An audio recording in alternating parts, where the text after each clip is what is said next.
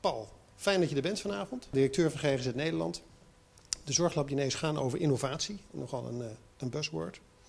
En ik zou graag van jou horen eh, hoe je denkt over de uh, innovatie in Nederland en wat je ervaringen zijn met de zorglabdiners tot nu toe.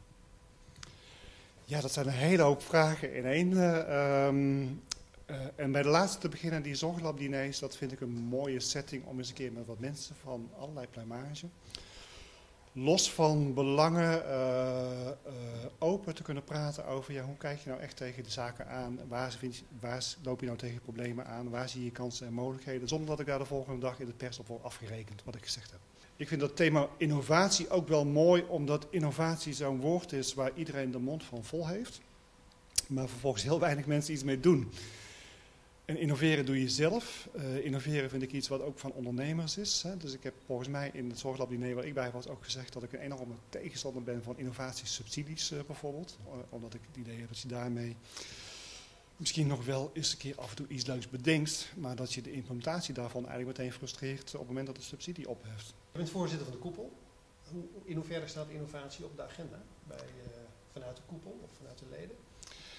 Nou, directeur van de koepel uh, van de brancheorganisatie, dan hebben we hem helemaal goed. Um, innovatie staat op de agenda eigenlijk alleen als het aan mij ligt voor zover het gaat om het creëren van randvoorwaarden om innovatie mogelijk te maken. Want alles wat daar verder gebeurt, daar geloof ik helemaal niet in dat je daar landelijk iets beters kan verzinnen dan wat een ondernemer of een patiënt of, of wie dan ook in de markt zelf zou kunnen bedenken. Dus ik geloof niet in, in maakbare maatschappijen en in innovaties van bovenaf. Ik geloof in innovaties van onderaf. Het enige wat ik moet doen, wat de brancheorganisatie moet doen en wat de overheid moet doen, is zorgen dat er zo min mogelijk belemmeringen zijn om dat tot stand te brengen.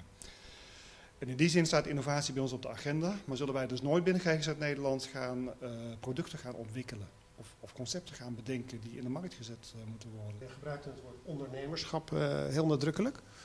Ehm, waar moet dat dan vandaan komen binnen grote instellingen?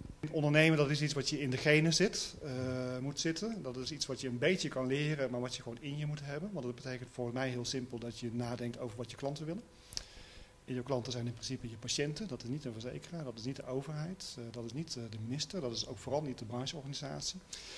En je moet dus continu bezig zijn aan hoe jij jouw product voor jouw klanten kan optimaliseren en hoe je je concurrenten, of hoe je dat ook wil noemen, een stapje voor wil zijn. En dat begint aan de top van de organisatie en dat moet doorgaan tot in de tenen van de organisatie. En allebei zijn even belangrijk. Heb je nog een boodschap voor vanavond, voor de zorglabdiner? Ja, ik hoop eigenlijk op een even leuke discussie als de vorige keer. We gaan ook praten over allerlei onderzoeken die er gebeurd zijn om hoe kan de zorg nou doelmatiger.